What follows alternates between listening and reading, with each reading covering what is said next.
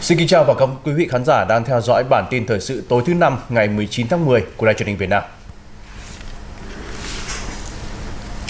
Thưa quý vị, sáng nay Chủ tịch nước Võ Văn Thưởng đã gặp Tổng Bí thư Chủ tịch nước Lào Thong Lun Sulit nhân dịp tham dự diễn đàn cấp cao hợp tác quốc tế vành đai và con đường lần thứ ba. Chủ tịch nước Võ Văn Thưởng khẳng định Việt Nam luôn coi trọng quan hệ với Lào, xem Lào là ưu tiên hàng đầu trong chính sách đối ngoại. Quan hệ Việt-Lào là tài sản vô giá, là mối quan hệ mẫu mực, thủy chung, trong sáng hiếm có trong quan hệ quốc tế. Hai nhà lãnh đạo nhấn mạnh, thời gian qua, các bộ ngành địa phương hai nước đã tích cực phối hợp triển khai các thỏa thuận cấp cao, nỗ lực tháo gỡ khó khăn, vướng mắc và nhiều dự án hợp tác trọng điểm có bước tiến tích cực. Trong bối cảnh tình hình thế giới biến động phức tạp, hai bên nhất trí cần tiếp tục phát huy hơn nữa quan hệ chính trị gắn bó giữa hai nước, cùng nhau giữ vững môi trường hòa bình ổn định và triển khai hiệu quả các thỏa thuận cấp cao, tăng cường hợp tác quốc phòng an ninh, xem đây là một trong những trụ cột quan trọng của quan hệ hai nước. Thực hiện tốt đề án nâng cao chất lượng và hiệu quả hợp tác Việt Nam Lào trong giáo dục và phát triển nguồn nhân lực, giải quyết dứt điểm vướng mắc của một số dự án hợp tác kinh tế, thúc đẩy hợp tác về chuyển đổi số giữa các cơ quan quản lý cũng như giữa các doanh nghiệp. Hai bên cũng khẳng định tầm quan trọng của tăng cường hợp tác và kết nối giữa Việt Nam, Lào, Campuchia và nhất trí phối hợp để Lào đảm nhiệm năm Chủ tịch ASEAN 2024 thành công, phát huy vai trò trung tâm của ASEAN và đem lại những lợi ích thiết thực cho người dân ASEAN. Nhân dịp này, Tổng Bí thư Chủ tịch nước Lào Lần đầu tiên, 7 ấp soda chanh mới chứa nước ép chanh thật. Soda chanh, soda chanh. Tươi ngon quá đã. Không calo. Bảy ấp soda chanh mới chứa nước ép chanh thật. đã chuyển lời thăm hỏi thân tình tới Tổng Bí thư Nguyễn Phú Trọng, Thủ tướng Phạm Minh Chính, Chủ tịch Quốc hội Vương Đình Huệ. vấn đề hội nghị và hôm nay gặp Cũng trong ngày, Chủ tịch nước Võ Văn Thưởng đã có các buổi tiếp lãnh đạo Ngân hàng Đầu tư Cơ sở Hạ tầng châu Á và một số tập đoàn lớn của Trung Quốc. Tiếp Chủ tịch Ngân hàng Đầu tư Cơ sở Hạ tầng châu Á AIIB Kim Lập Quần, Chủ tịch nước Võ Văn Thưởng đề nghị ngân hàng này tích cực phối hợp để hỗ trợ các thành viên và địa phương còn gặp khó khăn, có nhu cầu lớn về vốn và công nghệ, làm cơ sở thúc đẩy phát triển cơ sở hạ tầng của châu Á, ưu tiên quá trình xanh hóa các cơ sở hạ tầng, ứng phó với biến đổi khí hậu. Tiếp Chủ tịch Tập đoàn Huawei Lương Hoa, Chủ tịch nước Võ Văn Thưởng đánh giá cao những thành tựu mà Huawei đạt được trong quá trình đầu tư tại Việt Nam và mong muốn ngày càng có nhiều doanh nghiệp với tiềm lực kinh tế và trình độ phát triển cao đến để hợp tác với Việt Nam. Chủ tịch Huawei Lương Hoa bày tỏ mong muốn được hỗ trợ toàn lực cho quá trình phát triển kinh tế số, xã hội số và chuyển đổi năng lượng của Việt Nam, giúp Việt Nam đào tạo nhân lực số cũng như tích hợp các tiến bộ khoa học công nghệ vào phát triển nông nghiệp và công nghiệp chế tạo. Tiếp Chủ tịch Hội đồng Quản trị Tập đoàn Trung Hưng ZTE Lý Tự Học, Chủ tịch nước nhắc lại phát biểu tại diễn đàn vành đai và con đường, đồng thời nhấn mạnh việc kêu gọi hợp tác cấp quốc gia giữa các chính phủ, doanh nghiệp trong xây dựng thể chế số, hạ tầng số và nhân lực số. Lãnh đạo ZTE cũng khẳng định sẵn sàng hỗ trợ Việt Nam phát triển mạng lưới, cấu trúc hệ thống hạ tầng số để thúc đẩy tiến trình phát triển kinh tế.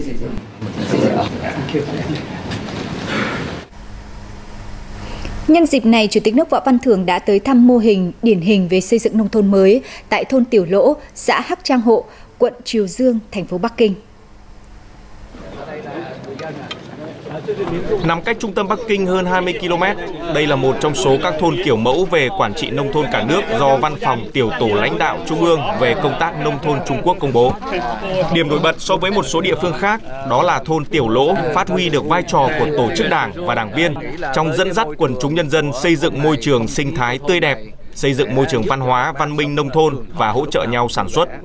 Tại đây, những sự kiện dấu mốc lịch sử trong quá trình phát triển của Đảng và đất nước đều được quán triệt tới từng hộ dân bằng nhiều hình thức sinh động, lấy xây dựng Đảng để thúc đẩy nông thôn phát triển và thay đổi diện mạo đời sống người dân.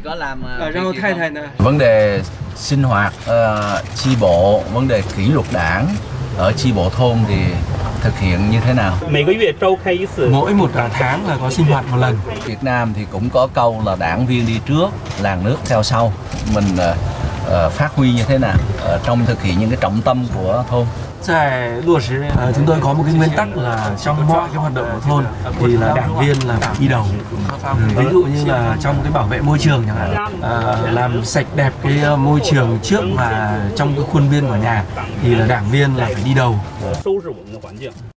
Chủ tịch nước Võ Văn Thưởng cũng tìm hiểu cách làm của địa phương trong việc huy động nguồn lực từ người dân để xây dựng các công trình công cộng hạ tầng giao thông và thăm mô hình nuôi cá cảnh của thôn Tiểu Lỗ. Ngành nghề truyền thống này đã được thôn chuyển đổi từ quy mô nhỏ lẻ theo hộ gia đình sang quy mô lớn, tập trung theo hướng công nghiệp hóa. Đây cũng là yếu tố quan trọng giúp thay đổi toàn diện cuộc sống của người dân nơi đây.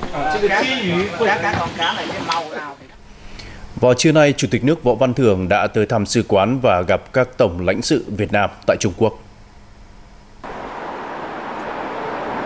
Chủ tịch nước Võ Văn Thưởng nhấn mạnh, bên cạnh tham dự diễn đàn vành đai và con đường, thì mục đích của chuyến công tác còn tiếp tục cụ thể hóa và triển khai thực hiện nhận thức chung của lãnh đạo cao nhất của hai đảng, hai nước đạt được trong chuyến thăm Trung Quốc của Tổng bí thư Nguyễn Phú Trọng cuối năm ngoái.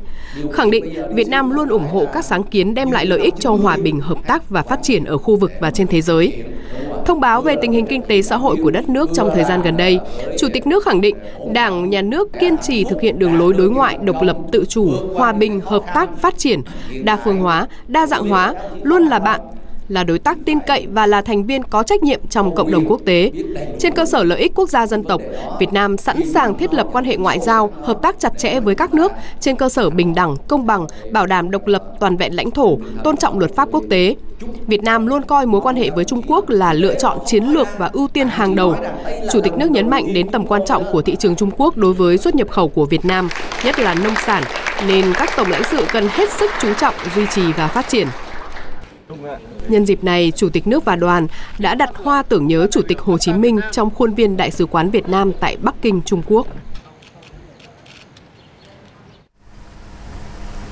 Thưa quý vị, vào trưa nay theo giờ địa phương trong khuôn khổ chuyến thăm Ả Rập Xê Út, Thủ tướng Phạm Minh Chính đã tiếp Bộ trưởng Kinh tế và Kế hoạch Ả Rập Xê Út Faisal bin Fadin Al Ibrahim, Bộ trưởng Nguồn Nhân lực và Phát triển Xã hội Ahmad bin Sulaiman Al Rahi.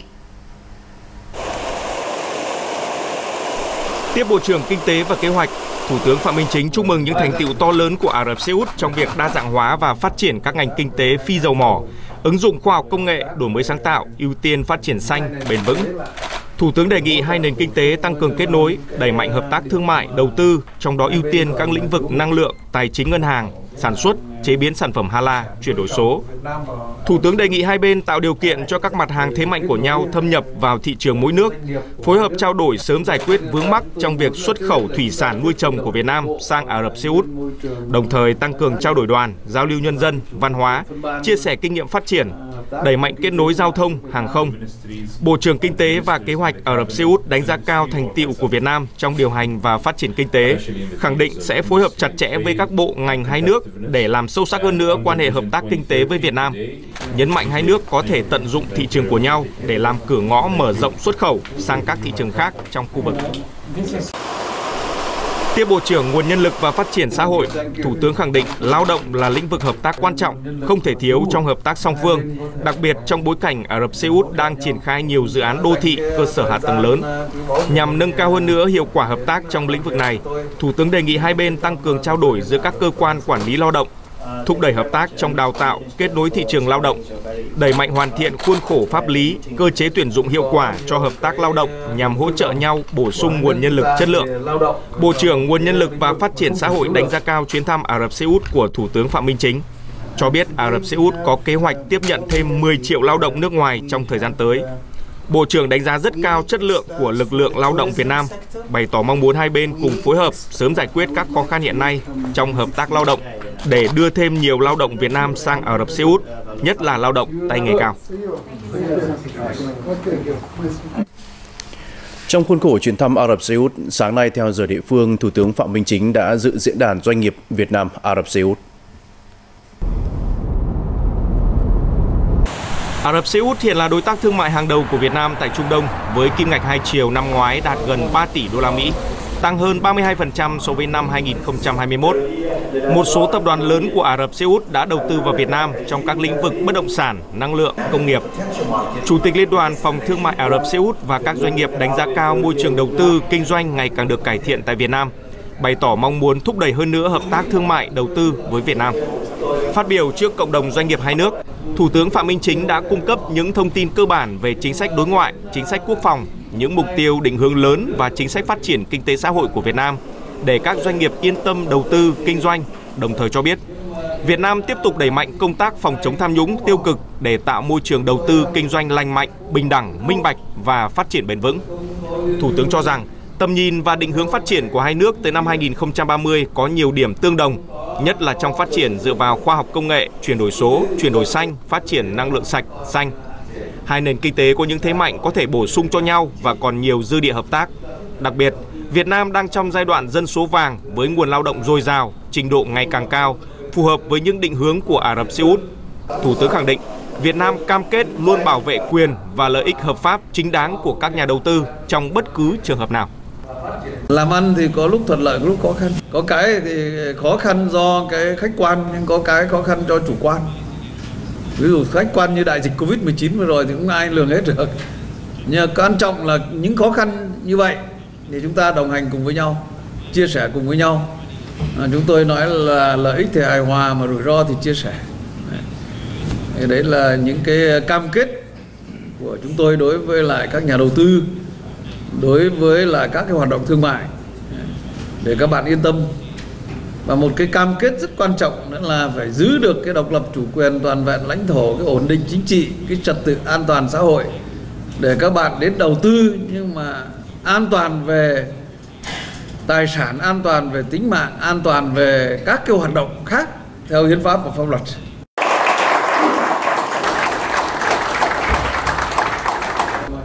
Nhân dịp này, Thủ tướng đã tiếp Chủ tịch Liên đoàn Phòng Thương mại Ả Rập Xê Út,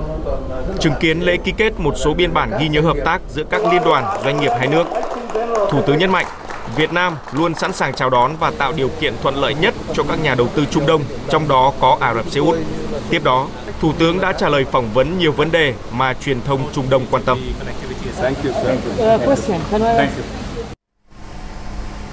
Tiếp đó, Thủ tướng Phạm Minh Chính đã tiếp lãnh đạo nhiều tập đoàn lớn trong các lĩnh vực năng lượng, công nghiệp, bán lẻ, nông nghiệp của Ả Rập Xê Út và khu vực vùng vịnh bao gồm tập đoàn dầu khí Aramco, các tập đoàn Jamin, Lulu và Aslan, Ambrose.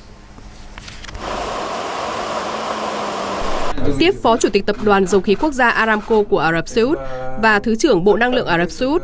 Thủ tướng Phạm Minh Chính đề nghị Aramco tham gia đầu tư tại Việt Nam trong lĩnh vực dầu khí, đặc biệt là những dự án lọc hóa dầu lớn của Việt Nam, phát triển hợp tác thương mại trong lĩnh vực sản phẩm dầu khí, hóa chất dầu khí như dầu thô, khí hóa lỏng, hạt nhựa, phân bón. Thủ tướng đề nghị Aramco tạo điều kiện cho Tập đoàn Dầu khí Quốc gia Việt Nam tham gia các hoạt động cung cấp dịch vụ dầu khí tại Ả Rập Xê Út, tìm các dự án lớn để cùng đầu tư và hỗ trợ đào tạo nguồn nhân lực dầu khí. Thủ tướng đề nghị ngay sau cuộc gặp, Tập đoàn Dầu khí Quốc gia Việt Nam và Aramco thu xếp làm việc trực tiếp về kế hoạch hợp tác. Tiếp Chủ tịch Tập đoàn Zamin, một trong những tập đoàn công nghiệp lớn nhất Ả Rập Xê Út, Thủ tướng đánh giá cao hoạt động kinh doanh của tập đoàn và kế hoạch mở rộng đầu tư tại Việt Nam, đề nghị tập đoàn tăng cường tỷ lệ nội địa hóa, ưu tiên đổi mới công nghệ sản xuất theo hướng hiện đại, tăng hàm lượng công nghệ cao, bền vững, thân thiện với môi trường. Đề nghị Zamin là cầu nối đưa các doanh nghiệp khác đến đầu tư tại Việt Nam. Tiếp giám đốc điều hành tập đoàn Lulu, tập đoàn bán lẻ lớn của Trung Đông, Thủ tướng hoan nghênh tập đoàn có kế hoạch tăng nhập khẩu gấp 2 đến 3 lần các mặt hàng từ Việt Nam, xây dựng các nhà máy mới tại Việt Nam. Thủ tướng đề nghị tập đoàn tiếp tục nhập khẩu nhiều hơn nữa hàng hóa thế mạnh của Việt Nam vào chuỗi hệ thống siêu thị của tập đoàn trên thế giới như hàng nông sản, gạo, trái cây, rau quả, hàng điện tử, dệt may, da dày, hỗ trợ Việt Nam phát triển ngành công nghiệp Hala. Thủ tướng tán thành với đề nghị của tập đoàn về việc hai nước xem xét mở đường bay thẳng để tạo thuận lợi cho hợp tác thương mại đầu tư. Tại cuộc gặp với Thủ tướng, lãnh đạo tập đoàn Aslan Bros đánh giá cao những thành tựu trong phục hồi phát triển kinh tế của Việt Nam, mong muốn hợp tác với các doanh nghiệp Việt Nam trong các lĩnh vực dệt may, nông nghiệp, chế biến nông sản, năng lượng tái tạo. Thủ tướng hoan nghênh và đề nghị tập đoàn nghiên cứu đầu tư tại Việt Nam, đẩy mạnh xuất khẩu sản phẩm, tiến tới chuyển giao công nghệ, giúp các doanh nghiệp Việt Nam tham gia sâu vào chuỗi sản xuất cung ứng toàn cầu. Vào sáng nay, Chủ tịch Quốc hội Vương Đình Huệ đã dự lễ kỷ niệm 60 năm ngày truyền thống quân chủng phòng không không quân ngày 22 tháng 10 năm 1963, 22 tháng 10 năm 2023. Tổng Bí thư Nguyễn Phú Trọng, Chủ tịch nước Võ Văn Thưởng và Thủ tướng Phạm Minh Chính đã gửi lãng hoa chúc mừng. Trải qua 60 năm xây dựng, chiến đấu và trưởng thành, Bộ đội Phòng không không quân đã không ngừng lớn mạnh. Trong hai cuộc kháng chiến chống thực dân Pháp và đế quốc Mỹ xâm lược, Bộ đội Phòng không không quân luôn khẳng định rõ vai trò là lực lượng nòng cốt trên mặt trận đối không trong thế trận chiến tranh nhân dân bảo vệ Tổ quốc. Biểu dương những chiến công, thành tích mà các thế hệ cán bộ chiến sĩ quân chủng đã đạt được, Nhấn mạnh các nhiệm vụ trọng tâm tới đây, Chủ tịch Quốc hội Vương Đình Huệ đề nghị quân chủng kiên định nguyên tắc luôn giữ vững và tăng cường sự lãnh đạo tuyệt đối trực tiếp về mọi mặt của Đảng, sự quản lý điều hành của nhà nước đối với sự nghiệp xây dựng và bảo vệ Tổ quốc. Dựa vào dân, dân là gốc, khơi dậy, phát huy ý chí tự lực tự cường, truyền thống văn hóa yêu nước, sức mạnh của khối đại đoàn kết toàn dân tộc, xây dựng thế trận lòng dân, lấy yên dân là nhân tố quyết định mọi thắng lợi của sự nghiệp xây dựng và bảo vệ Tổ quốc. Bên cạnh đó, tiếp tục quán triệt và thực hiện tốt nghị quyết Đại hội Đảng toàn quốc lần thứ 13, các nghị quyết chỉ thị của Trung ương Đảng, của Quân ủy Trung ương về nhiệm vụ bảo đảm quốc phòng an ninh, xây dựng quân chủng tinh, gọn, mạnh, tiến lên hiện đại, nâng cao chất lượng tổng hợp, đáp ứng yêu cầu nhiệm vụ bảo vệ Tổ quốc trong tình hình mới. Trước nhiệm vụ bảo vệ bầu trời Tổ quốc diễn ra trong điều kiện tình hình thế giới, khu vực có nhiều diễn biến phức tạp, khó dự báo, Chủ tịch Quốc hội Vương Đình Huệ đề nghị không ngừng đổi mới, nâng cao chất lượng công tác huấn luyện, sẵn sàng chiến đấu, làm chủ vũ khí, trang bị hiện đại, thường xuyên nghiên cứu, nắm chắc âm mưu thủ đoạn của địch, bảo vệ Tổ quốc từ sớm, từ xa, tuyệt đối không để bị động, bất ngờ trong mọi tình huống. Chủ tịch Quốc hội tin tưởng quân chủng phòng không không quân sẽ tiếp tục nỗ lực hoàn thành xuất sắc nhiệm vụ, phấn đấu đến năm 2030 xây dựng quân chủng cách mạng, chính quy, tình nhuệ, hiện đại, xứng đáng với truyền thống và niềm tin yêu của Đảng, Nhà nước và nhân dân.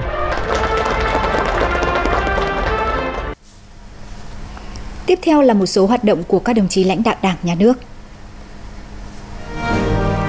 Sáng nay, Phó Chủ tịch Thường trực Quốc hội Trần Thanh Mẫn đã dự và phát biểu tại chương trình biểu dương Chủ tịch Hội Phụ nữ cơ sở giỏi toàn quốc những bông hoa tháng 10 nhằm tôn vinh 293 đại biểu đại diện cho hơn 14.000 Chủ tịch Hội Phụ nữ cơ sở tiêu biểu. Vượt qua nhiều khó khăn thử thách, các chị không chỉ làm tốt công tác tập hợp phụ nữ, phát triển hội viên, xây dựng nông thôn mới, phát triển kinh tế, mà còn triển khai nhiều phong trào, dự án bảo vệ phụ nữ và trẻ em gái, góp phần đảm bảo an sinh xã hội ở các địa phương trên cả nước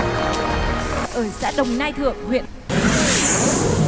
Tại lễ kỷ niệm 40 năm ngày thành lập Viện Nhà nước và Pháp luật, sáng nay, đồng chí Nguyễn Xuân Thắng, Ủy viên Bộ Chính trị, Giám đốc Học viện Chính trị Quốc gia Hồ Chí Minh, Chủ tịch Hội đồng Lý luận Trung ương đã trao huân chương lao động hạng nhì cho viện, đồng thời biểu dương những thành tiệu trong đào tạo nghiên cứu khoa học mà cơ quan này đã đạt được, góp phần bồi dưỡng hình thành tư duy lý luận chính trị cho đội ngũ cán bộ lãnh đạo quản lý các cấp. Đồng chí Nguyễn Xuân Thắng nhấn mạnh đến nay, Viện đã và đang khẳng định được vị thế là một trung tâm nghiên cứu về nhà nước và pháp luật có uy tín của đất nước. Chiều nay làm việc với Ban Cán sự Đảng Viện Kiểm sát Nhân dân tối cao về kết quả kiểm tra thực hiện kết luận Hội nghị Trung ương 4 khóa 13 về xây dựng chỉnh đốn Đảng, đồng chí Đỗ Văn Chiến, Chủ tịch Ủy ban Trung Mặt trận Tổ quốc Việt Nam đánh giá cao sự quyết liệt của cơ quan này trong thực hiện qua đó nâng cao năng lực lãnh đạo của các tổ chức đảng đối với hoạt động điều tra xử lý các vụ án, vụ việc tham nhũng tiêu cực phức tạp, dư luận quan tâm. Chỉ ra một số tồn tại, đồng chí Đỗ Văn Chiến đề nghị Ban cán sự Đảng viện Kiểm sát Nhân dân tối cao tiếp tục quán triệt và lãnh đạo thực hiện hiệu quả các giải pháp của Trung ương về xây dựng chỉnh đốn Đảng. Làm việc tại trường Đại học Khoa học Xã hội và Nhân văn Đại học Quốc gia Hà Nội, đồng chí Nguyễn Trọng Nghĩa, Bí thư Trung ương Đảng, trưởng Ban tuyên giáo Trung ương nhấn mạnh, trong bối cảnh cải thống chính trị đang nỗ lực thực hiện các nghị quyết của Trung ương về khoa học công nghệ, giáo dục đào tạo, xây dựng đội ngũ trí thức, cần tiếp tục nghiên cứu đào tạo báo chí, truyền thông theo hướng thích ứng với thời cuộc, tiếp tục đào tạo bồi dưỡng đội ngũ người làm báo, xây dựng khung chương trình tiêu chuẩn các trường đào tạo báo chí trên cả nước. Thưa quý vị, đến chiều tối ngày hôm nay thì 13 ngư dân mất tích trong vụ hai tàu cá bị chìm trên vùng biển quần đảo Trường Sa, tỉnh Khánh Hòa vẫn chưa được tìm thấy sau hơn 2 ngày tìm kiếm. Hiện thì 78 ngư dân và hai thi thể ngư dân được các tàu cá cứu hộ trước đó đang được tàu 467 Hải quân đưa về đất liền và dự kiến vào trưa mai tàu sẽ về đến cảng Kỳ Hà, núi Thành, Quảng Nam. Tại hiện trường, lúc này còn 3 tàu của lực lượng chức năng và 4 tàu cá của ngư dân vẫn đang tiếp tục thực hiện tìm kiếm số người còn mất tích. Một tàu trong số 4 tàu ban đầu được điều động đến hiện trường. Ngày hôm nay được huy động để chở 78 ngư dân và hai thi thể vào bờ. Đêm qua và sáng nay, tàu 467 Hải quân đã thực hiện xong việc tiếp nhận 78 lao động, hai thi thể và có thêm 3 ngư dân khác đang đi đánh bắt ngoài khơi xin đi cùng vào bờ. Dạ, rất muốn về đất liền sớm và cũng rất mong các lực lượng chức năng uh, tiếp tục tìm kiếm có người dân của chúng tôi uh, mất tích chưa tìm thấy rất mong các uh, cơ quan này là cố gắng Điều kiện sóng gió tại vùng biển tiếp nhận các ngư dân thuận lợi cho cả việc tìm kiếm cứu nạn và việc di chuyển đưa ngư dân vào bờ. Chúng tôi sẽ đưa bà con về đất liền an toàn. Dự kiến thời gian hành trình về bờ từ 29 đến 30 giờ. Tàu 467 Hải quân chở các ngư dân bắt đầu xuất phát về bờ lúc 10 giờ 15 phút trưa nay.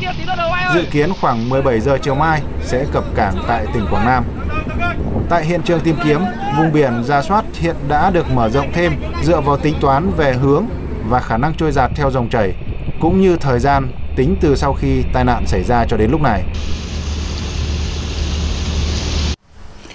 Về diễn biến bão số 5, cơn bão đi khá chậm trên vùng biển phía đông của vịnh Bắc Bộ và vẫn giữ cường độ cấp 8, giật cấp 10. Dự báo trong đêm nay bão sẽ đi vào hướng Bắc và giữ cường độ cấp 8. Sang ngày mai, đổi hướng ngược lại xuống phía Nam và suy yếu dần trên biển. Với dự báo như vậy, bão chủ yếu gây sóng to, gió mạnh cho vùng biển Vịnh Bắc Bộ và đây chính là vùng nguy hiểm cho tàu thuyền trong một ngày tới. Nợ công của Việt Nam hiện đã giảm xuống chỉ còn 37,4% GDP, thấp hơn nhiều so với ngưỡng Quốc hội đề ra. Hội nghị Ban chấp hành Trung Đảng lần thứ 8 mới đây cũng đánh giá là việc kiểm soát tốt nợ công, nợ chính phủ, nợ nước ngoài là một trong những điểm sáng của nền kinh tế. Vâng, cơ cấu nợ công ngày càng bền vững và trả nợ đúng hạn không những giúp ổn định kinh tế vĩ mô mà còn giúp Việt Nam liên tục được các tổ chức xếp hạng tín nhiệm quốc tế nâng hạng tín nhiệm quốc gia. Dự án hệ thống xử lý nước thải Yên Xá của Hà Nội vay trên 61,5 tỷ yên Nhật của JICA. Năm nay, dự án được giao vốn gần 1.600 tỷ đồng và đã giải ngân đạt 66% kế hoạch. Cũng gặp rất nhiều những khó khăn vướng mắc. Thì tuy nhiên thì cũng đã được thành phố Hà Nội cũng như là các cái bộ ngành ờ, quan tâm và đã tháo gỡ những cái khó khăn vướng mắc thì và đặc biệt là đã được chính phủ và thủ tướng chính phủ tháo gỡ gia hạn cái hiệp định vay. Vì vậy tiến độ giải ngân của dự án đến nay đạt là tương đối tốt. Bộ Giao thông thì chiếm khoảng 61% cái tổng vốn đầu tư công của giai đoạn 21-25 thì à, đều đạt trên khoảng 70-80% của các năm 21-22. À, và à, năm 23 này thì cũng đã đạt được là trên 60% rồi. Đối với cả Bộ Nông nghiệp thì chiếm cỡ khoảng 12,5% tổng vốn đầu tư công thì đều đều đạt ở trên 50%. Các khoản vay nước ngoài để phát triển kinh tế xã hội ngày càng phát huy hiệu quả tích cực. Cơ cấu nợ công cũng ngày càng bền vững khi tỷ lệ vay trong nước ngày càng cao nên ít chịu ảnh hưởng của các biến động tỷ giá. Khuyến khích các cái doanh nghiệp sẽ vay các tổ chức tín dụng của nước ngoài, các cái quỹ tài chính nước ngoài, các ngân hàng nước ngoài là từ vay từ trả và từ chịu trách nhiệm, hạn chế đến mức thấp nhất là nhà nước đứng ra bảo lãnh. Vấn đề thứ hai nữa là chỉ vay những cái khoản vay mà có hiệu quả kinh tế cao thời gian trả nợ dài lãi suất tiền vay à, thấp nhất các cái điều kiện khác là ưu đãi nhất. Thế thì như vậy à, trên cái xu, xu hướng đấy thì cái nợ công nó à, vay nước ngoài nó sẽ giảm dần và tăng cường cái công tác phát hành trái phiếu à, chính phủ để huy động ở trong nước. Và cái thời gian huy động ấy thì dài từ 10 đến 15 năm. Ở trong bối cảnh nhiều quốc gia bị hạ bậc tín nhiệm thì Việt Nam vẫn được hai tổ chức tín nhiệm quốc tế là Moody's và S&P nâng hạng tín nhiệm quốc gia. Và một trong những nguyên nhân chính mang lại điều này là nhờ Việt Nam thời gian vừa qua đã thực hiện tốt việc quản lý nợ công theo hướng giảm dần. Tính đến hết năm 2022, nợ công tương đương 37,4% GDP, còn nợ nước ngoài là khoảng 36,1% GDP. Không chỉ thấp hơn nhiều so với ngưỡng quy định mà các con số nợ này đều đang có xu hướng giảm dần qua các năm. Đây đang là một trong những cái điểm sáng trong cái việc là quản lý ngân sách nhà nước cũng như quản lý cái vay nợ công. Cho nên các cái tổ chức xếp hạng quốc tế đều đánh giá cao cái uh, tín nhiệm của Việt Nam. I mean, the current Tỷ lệ nợ công trên GDP hiện nay vào khoảng 37%, trong khi mục tiêu mà chính phủ Việt Nam tự đề ra là khoảng 60%. Do đó vẫn còn dư địa tài chính lớn để chính phủ triển khai thông qua việc vay thêm và chi tiêu vào đầu tư công. Không chỉ giảm về tỷ lệ so với GDP mà nợ vay nước ngoài của Việt Nam cũng đang giảm cả về số tuyệt đối. Cụ thể, từ mức đỉnh 1.136.000 tỷ đồng vào năm 2020 đã giảm xuống gần 975.000 tỷ đồng vào cuối năm ngoái, tức là giảm trên 160.000 tỷ đồng. Rõ ràng đây đang là một cái xu hướng đúng, đó là chúng ta sẽ đứng bằng hai cái chân của mình, bằng cái nguồn lực của mình để mà có thể củng cố cái nội sinh, cái nội lực của nền kinh tế, không bị phụ thuộc vào các cái nguồn vốn bên ngoài. Trong bối cảnh còn nhiều dư địa tài chính khi xét theo tỷ lệ nợ công, thì chúng tôi thấy đây là cơ hội tốt để Việt Nam thúc đẩy các chương trình nghị sự nhằm chi tiêu cho hạ tầng và lĩnh vực xã hội, bao gồm trợ cấp thất nghiệp và cắt giảm thuế giá trị gia tăng. Còn theo đánh giá của Ngân hàng Thế giới thì Việt Nam đã có những cải cách đáng kể về quản lý nợ công. Vấn đề của Việt Nam tới đây là tiếp tục nâng cao hiệu quả quản lý nợ công, hiệu quả của giải ngân đầu tư công và vốn ODA. Cuộc thanh tra thực tế lần thứ tư của Ủy ban châu EC về chống khai thác hải sản bất hợp pháp, không khai báo và không theo quy định gọi tắt là IUU vừa kết thúc. Kết quả kiểm tra thực tế tại Bà Rịa Vũng Tàu, Bình Định, đoàn của Ủy ban châu Âu tiếp tục ghi nhận và đánh giá cao sự nỗ lực của Việt Nam và sự chỉ đạo của chính phủ, Thủ tướng Chính phủ. Ở tuy nhiên, việc cỡ thẻ vàng sẽ phải chờ đến kết quả của lần kiểm tra tiếp theo. Đến thời điểm đoàn EC sang kiểm tra thì Việt Nam vẫn còn 53 tàu, 395 ngư dân vi phạm vùng biển nước ngoài. Con số này tuy đã giảm nhiều so với năm ngoái, nhưng vẫn cho thấy hệ thống giám sát tàu cá và xử phạt hành chính còn yếu. Phía EC đặc biệt lưu ý kết quả Việt Nam đã giảm hơn 2.000 tàu cá từ 15 mét trở lên so với năm 2019. Điều này là phù hợp với chiến lược phát triển thủy sản của Việt Nam, nhưng cần đảm bảo số tàu này không còn tồn tại, bởi nếu không kiểm soát sẽ là mối nguy hại về khai thác EU. Trong khi đó, việc xử phạt hành chính với tàu cá vi phạm mất kết nối VMS trên 10 ngày còn rất thấp, mới chỉ đạt 10%. Ngoài thông tin ở Việt Nam, thì họ có rất nhiều thông tin ở các quốc gia ở Việt Nam. Cho nên họ chỉ ra những cái sai, những cái bất cập và những cái chưa làm được của chúng ta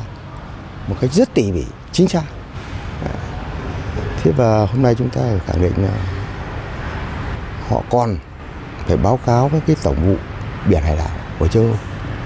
thì cái việc gỡ thẻ vàng của ta như thế nào thì lúc đó mới có cái kết luận cuối cùng Bộ Nông nghiệp và Phát triển Nông thôn khuyến nghị trong 6 tháng tới, Việt Nam cần tiếp tục thể hiện những nỗ lực lớn hơn không chỉ trong quản lý đội tàu, thực thi luật pháp, mà còn cả quản lý thủy sản nhập khẩu bằng tàu container để ngăn ngừa việc có thể tiếp tay cho những nước khác vi phạm EU. Cơ quan an ninh điều tra Công an tỉnh Kiên Giang vừa ra quyết định khởi tố hai bị can là chủ tàu cá ở tỉnh Kiên Giang khai thác hải sản trái phép ở vùng biển nước ngoài. Tàu cá này đã bị cơ quan chức năng Indonesia bắt giữ vào cuối tháng 11 năm ngoái. Trước đó, Công an tỉnh Kiên Giang đã khởi tố vụ án tổ chức cho người khai người khai thác xuất cảnh trái phép đối với hành vi đưa ngư dân qua vùng biển nước ngoài khai thác trái phép. Bộ Công an đang tập trung chỉ đạo công an các đơn vị công an tỉnh Kiên Giang đẩy nhanh tiến độ điều tra, điều tra mở rộng, xử lý các đối tượng có liên quan đến vụ án, đồng thời phối hợp với Viện Kiểm sát Nhân dân tối cao, Tòa án Nhân dân tối cao hướng dẫn liên ngành tư pháp tỉnh Kiên Giang kịp thời tháo gỡ khó khăn, vướng mắc, nhất là thực hiện tương trợ tư pháp để đưa ra truy tố xét xử nghiêm theo quy định của pháp luật.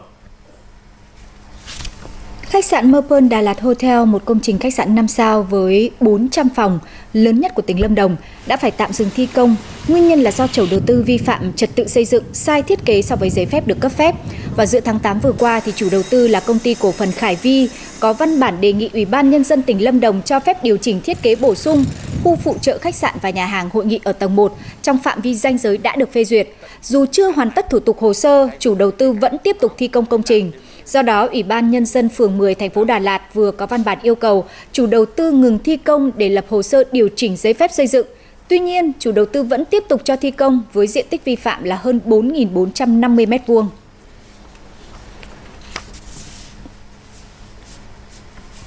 Tại công điện số 965 mới đây, Thủ tướng Phạm Minh Chính đã yêu cầu các bộ ngành liên quan chủ động phối hợp chặt chẽ với Bộ Tài nguyên và Môi trường, khẩn trương giải quyết các khó khăn vướng mắc trong việc cấp giấy chứng nhận quyền sử dụng đất, quyền sở hữu nhà ở và tài sản gắn liền với đất, đơn giản hóa thủ tục hành chính trong lĩnh vực đất đai. Đây là vấn đề đang được nhiều người dân và doanh nghiệp quan tâm và mong chờ.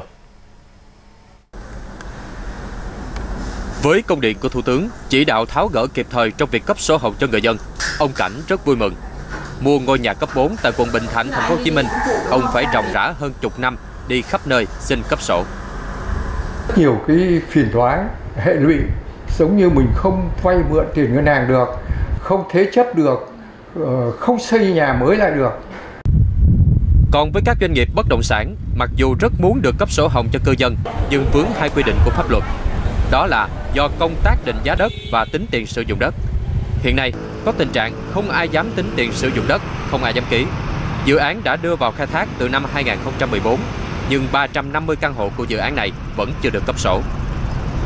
Tôi thấy trong công điện cũng ghi rõ là định cái giá đất làm sao đơn giản nhất mà an toàn nhất bảo vệ cán bộ nữa kìa. Còn hiện nay tính theo phương pháp giá trị thẳng dư, mỗi một đơn vị tư vấn khác nhau tính ra một giá khác nhau. Vậy cán bộ duyệt hồ sơ đó ngại sợ nay mai thi thanh tra đơn vị khác vô thẩm tra thẩm định tính lại thì nói là gây thất thoát công điện của thủ tướng chính phủ đã chỉ đạo rất quyết liệt rất kịp thời à, và chúng tôi thấy một cái lộ trình một cái mục tiêu mà thời gian phải thực hiện cho bằng được cái chỉ đạo của uh, thủ tướng chính phủ Các doanh nghiệp bất động sản cũng mong muốn cần có cơ chế để ưu tiên cấp trước 50% giấy chứng nhận của dự án. 50% còn lại sẽ cấp giấy sau khi chủ đầu tư hoàn thành việc thực hiện nghĩa vụ tài chính bổ sung. Bên cạnh đó, cần tách bạch vướng mắc giữa doanh nghiệp với chính quyền để linh hoạt tối đa cấp sổ hồng cho người dân. Tổng cục Thuế vừa công bố danh sách 1.000 doanh nghiệp nộp thuế thu nhập doanh nghiệp lớn nhất Việt Nam năm 2022. Trong đó thì à, Ngân hàng Cổ phần Việt Nam Thịnh Vượng VPBank đã vượt qua Viettel vươn lên đứng đầu danh sách với số thuế đã nộp năm qua là hơn 6.400 tỷ đồng, tăng gần gấp đôi so với năm trước đó. Nằm trong danh sách nộp thuế lớn tiếp theo là Honda Việt Nam, Vietcombank, Agribank, BIDV và Samsung Việt Nam. Tổng số thuế thu nhập của doanh nghiệp của 1.000 doanh nghiệp được tôn vinh lần này chiếm tới gần 60% tổng số thu của sắc thuế này trong năm 2022 vừa qua. Tuần qua, nhiều khu vực của thành phố Hà Nội đã bị mất nước. Việc thiếu nước sạch ở nhiều khu dân cư thuộc các quận huyện Thanh Xuân, Nam Từ Liêm, Thanh Oai, Hoài Đức đã làm cho cuộc sống của người dân bị xáo trộn. Theo đại diện Sở Xây dựng Hà Nội, việc chậm tiến độ của một số nhà máy nước mặt là nguyên nhân căn bản gây ra tình trạng thiếu nước cục bộ ở Hà Nội gần đây. Đây là những hình ảnh ghi nhận cuối tuần vừa rồi tại phường Trung Văn, quận Nam Từ Liêm, Hà Nội. Người già, người trẻ mang tất cả mọi thứ trong nhà có thể để chứa nước, đi lấy nước từ xe téc. Khoảng chục nghìn hộ dân hai quận Thanh Xuân và Nam Từ Liêm Hà Nội thiếu nước sinh hoạt, có những vị trí mất nước cả tuần trước đó. Tôi xách như thế là 8 thùng nước 4 lần mà đi mỗi một lần có hơn 100 mét. Nói chung là mệt, mệt quá rồi đấy. Mỗi lần thì mỗi nhà chỉ xách được một hai xô, một hai cái bình xanh xanh như thế kia mà các cụ lại bê lên tầng xuống tầng rồi ngỡ ngã trượt một cái thì, thì không biết là xử lý như nào nên là đang tạm thời là anh em phải uh, xử lý là mua tạm nước sạch ở bên ngoài để về dùng. Hiện tại Nam Từ Liêm và Thanh Xuân theo phản hồi của người dân đã có nước trở lại. Còn tại khu đô thị Thanh Hà, khoảng 7.000 hộ dân cũng thiếu nước. Thực tế ghi nhận tại thời điểm 12 giờ trưa nay, một số tòa có nước đang chảy vào bể ngầm, nhưng lượng nước chưa đủ để bơm lên bể mái. Theo đơn vị cấp nước phải điều tiết 24 đến 30 tiếng một lần bơm nước vào tòa nhà để luân phiên điều tiết cho các chung cư khác trong khu đô thị. Đại diện Sở Xây dựng thông tin, từ đêm qua đến sáng nay đã điều tiết nước về được 17 trên 23 tòa ở khu đô thị Thanh Hà. Từ 6 giờ sáng 18 tháng 10 đến 6 giờ sáng 19 tháng 10, tổng lượng nước về khu đô thị Thanh Hà đạt khoảng 2.200 mét khối một ngày đêm, trong khi nhu cầu thực tế của khu đô thị này là khoảng 3.000 mét khối một ngày đêm. Rất mong là các cơ, quan ban ngành nhanh chóng vào cuộc để cho chúng tôi ờ, có được nguồn nước từ ngã ba đường 70 tiếp nhận đưa nước của sông Đuống về trực tiếp cho khu đô thị Thanh Hà. Một số nhà máy chưa đáp ứng yêu cầu theo cái tiến độ đề ra. Nhà máy nước mặt sông Đà với quy mô công suất là 600.000 m3 ngày đêm. Dự kiến hoàn thành vào năm 2020 thì đến thời điểm hiện nay thì giai đoạn 2 cũng mới đang triển khai các hệ thống mạng lưới truyền tải. Và song song với đó thì nhà máy nước mặt sông Hồng cũng quy mô công suất 300.000 m3 ngày đêm. Thì đến thời điểm hiện nay cũng phải dự kiến là quý 1 năm 2024 mới hoàn thành. Hiện tượng mất nước vẫn đang xảy ra tại một số khu vực của Hà Nội. Đang có khoảng 250 hộ dân khu vực huyện Hoài Đức thiếu nước sinh hoạt do áp lực nước từ nguồn sông Đà không đủ cung cấp cho người dân. Bí thư Thành ủy Hà Nội Đinh Tiến Dũng yêu cầu các đơn vị liên quan của thành phố khẩn trương đáp ứng ngay nhu cầu nước sinh hoạt của người dân khu đô thị Thanh Hà. Theo đại diện Sở Xây dựng thì giải pháp trước mắt chỉ có thể là điều tiết nước luân phiên, bởi với tình trạng này thì cao điểm mùa hè năm tới, toàn thành phố Hà Nội sẽ có thể thiếu khoảng 50.000 mét khối nước sinh hoạt mỗi ngày đêm. Như vậy là Sở Xây dựng sẽ phải yêu cầu một số nhà máy nước ngầm tăng công suất khai thác để bù vào lượng thiếu hụt này, đảm bảo cho người dân thủ đô sẽ không bị thiếu nước sạch. Sau nhiều vòng tham vấn lấy ý kiến đến nay, dự thảo luật bảo hiểm xã hội sửa đổi có hai phương án về quy định rút bảo hiểm xã hội một lần. Các phương án này đều chú trọng tới quyền lựa chọn bảo lưu thời gian đóng bảo hiểm, khuyến khích người lao động ở lại với bảo hiểm xã hội và đồng thời hài hòa trong giải quyết quyền lợi trước mắt của người lao động với chính sách an sinh xã hội lâu dài. Nhận việc gia công tại nhà trọ để có thêm thu nhập, phụ thêm vào tiền trợ cấp thất nghiệp sau 14 năm đi làm công nhân. Biết về những thay đổi về quy định hưởng bảo hiểm xã hội một lần, nhưng bà Trâm vẫn không thay đổi ý định từ trước đó. Em tính rút bảo hiểm một lần chị, đâu có đi làm công ty nữa đâu đóng vô nữa. Chừng nào tới đó hay hay dây dài chưa biết 70% người rút bảo hiểm xã hội một lần là ở các địa phương phía Nam. Dù đã được tuyên truyền là có thể đóng nối để giữ lương hưu bằng cách chuyển sang bảo hiểm xã hội tự nguyện và được nhà nước hỗ trợ từ 10 đến 30%. Rõ ràng, cần phải thay đổi tâm lý là cứ không làm công nhân thì rút bảo hiểm. Rút và tiêu hết số tiền này thì về sau dựa vào đâu? Không hiểu rõ cho nên rút bảo hiểm xã hội một lần nói là để làm nhà, để lo cuộc sống hàng ngày thì chúng ta hỏi rằng dưới 20 năm đóng bảo hiểm xã hội liệu anh rút cái quyền cái tiền đó ra anh có đủ để làm nhà không và có đủ để lo cuộc sống không và hết cái đó thì anh dựa vào đâu bây giờ chúng ta phải khẳng định là này bảo hiểm xã hội là của để dành nhà nước bảo hộ và nhà nước còn đầu tư tăng trưởng và giữ cho người lao động Sửa đổi luật là để đảm bảo an sinh tốt hơn. Ai cũng có lương hưu khi về già. Dự thảo luật bảo hiểm xã hội sửa đổi khuyến khích người lao động ở lại lưới an sinh bằng hình thức bảo lưu. Thay vì rút hết khoản đã đóng thì rút một nửa để giải quyết khó khăn trước mắt. Phần còn lại là để giữ số năm và đóng nối để có lương hưu. hưởng 50 giữ lại 50 để sau này 50 đó họ làm tiếp tục và họ hưởng được tới cái, cái tuổi nghỉ hưu thì nó rất là tốt. Anh lấy 50 đó anh giải quyết khó khăn trước mắt. Nhưng 50% này lấy ra từ cái quỹ bảo hiểm xã hội đóng dưới 20 năm không giải quyết được vấn đề gì cả. Vấn đề quan trọng là chúng ta phải thêm một cái cơ chế nữa. Hỗ trợ người lao động khi khó khăn khi mất việc làm. Người lao động đang đặc biệt quan tâm đến cách tính lương hưu mới. Bởi nếu lương hưu được tính hợp lý, không chỉ thu hút thêm lao động tham gia, mà còn là động lực để người lao động ở lại với bảo hiểm xã hội. Cuộc xung đột giữa Israel và Hamas đã bước sang ngày thứ 12 với diễn biến ngày càng leo thang. Đỉnh điểm là vụ tấn công đẫm máu nhằm vào một bệnh viện ở thành phố Gaza, khiến 500 người thiệt mạng cách đây 2 ngày. Hậu quả khủng khiếp của vụ tấn công này đã gây ra một làn sóng phẫn nộ cùng với các cuộc biểu tình trên khắp thế giới. Ở trong khi đó thì cuộc khủng hoảng nhân đạo ở giải Gaza đang trầm trọng thêm từng giờ từng ngày và các nước lớn lo ngại rằng xung đột Israel và Hamas có thể lan rộng ra toàn khu vực Trung Đông. Đặc phái viên Liên Hợp Quốc về Trung Đông Thor Wennesland cảnh báo nguy cơ xung đột Israel-Hamas lan rộng tại giải Gaza là rất thực tế và đặc biệt nguy hiểm.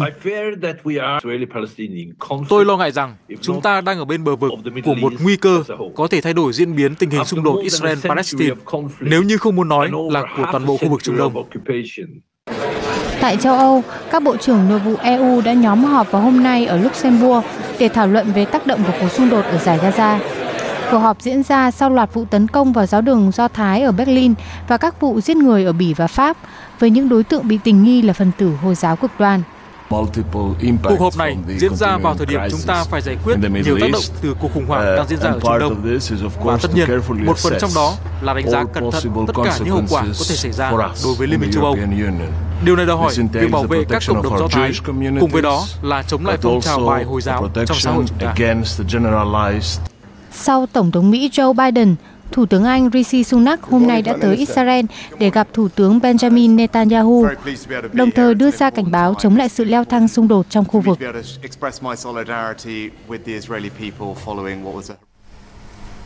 Bộ Tài chính Mỹ đã thông báo nước này ban hành các lệnh trừng phạt mới nhằm vào các chương trình tên lửa đạn đạo và máy bay không người lái của Iran. Theo Bộ Tài chính Mỹ, các lệnh trừng phạt được áp đặt đối với 11 cá nhân và 8 thực thể được cho là hỗ trợ cho chương trình tên lửa của Iran. Quyết định này được đưa ra trong bối cảnh các biện pháp hạn chế do Hội đồng Bảo an Liên Hợp Quốc áp đặt đối với Tehran theo nghị quyết vừa hết hiệu lực. Nghị quyết này được Hội đồng Bảo an Liên Hợp Quốc thông qua vào năm 2015 nhằm phê chuẩn thỏa thuận hạt nhân mang tên Kế hoạch Hành động chung toàn diện, trong đó Tehran cam kết không tìm kiếm, phát triển hay mua vũ khí hạt nhân, để đổi lấy việc dỡ bỏ các lệnh trừng phạt đối với nước này.